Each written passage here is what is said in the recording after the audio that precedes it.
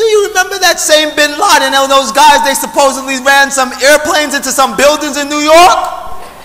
And then we got a Patriot Act? And then I got video cameras on me and phone taps and all type of other stuff? It's not possible that it could be happening all over again on the internet, is it? Brothers and sisters, megaupload.com was the twin towers of the internet. Did you hear what I just said? Guaranteed. Watch, it's coming. Brethren, we're here. We're here on multiple levels. But I praise God that as we've taken time to study the Word this morning, it is clear God is standing with His people. Though we may not see Him with our physical eyes, by the eye of faith, we can know that the Almighty is sitting upon His throne, beholding all that is happening in the habitations of men. And that is why we need to flee to the throne of the Almighty. There is only one haven, it is in Jesus Christ. He is our sure foundation, He is our rock, He is our hope, He is the source of our salvation.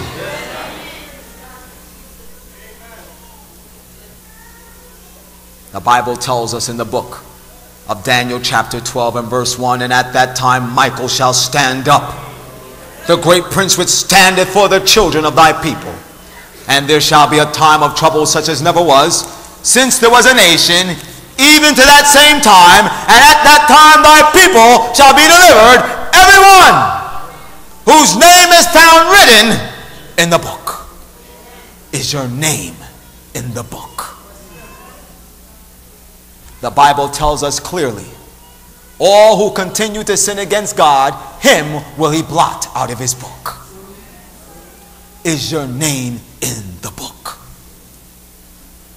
For we are told in Revelation 13 and verse 8, and all the world shall wander after the beast, whosoever's name is not written in the what?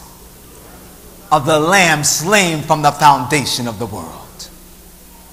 If you allow the blood of Christ to cleanse you from your sins, your name will be in that book. If you call out to Jesus, your name will be in that book. If you surrender your sins today to Christ, your name will be in that book. Your name must be in that book.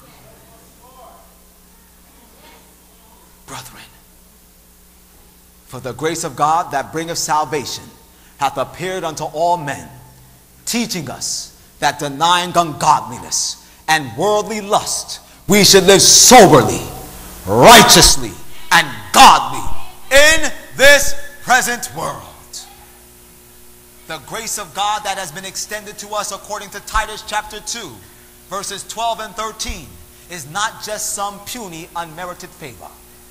It's the power of God that we don't deserve.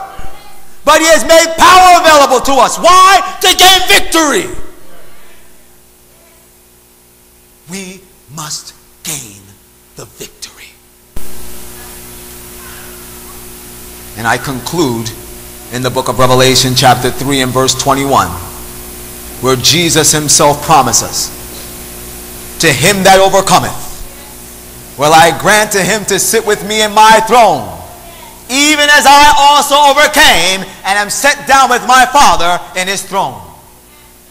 No angel, no other unfallen being has ever been extended the privilege, the opportunity of sharing the throne of the Almighty. God is extending a seat in his throne to you the very throne that Lucifer desired to sit in.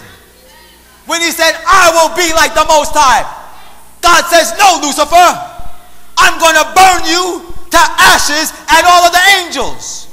But before I do that, those whom you have drawn into sin through your temptations, by my grace, I will lift them up.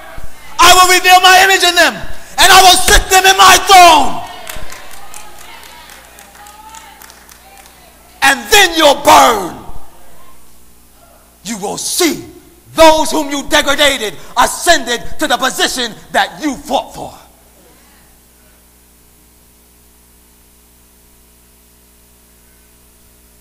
The throne of God is yours for the taking.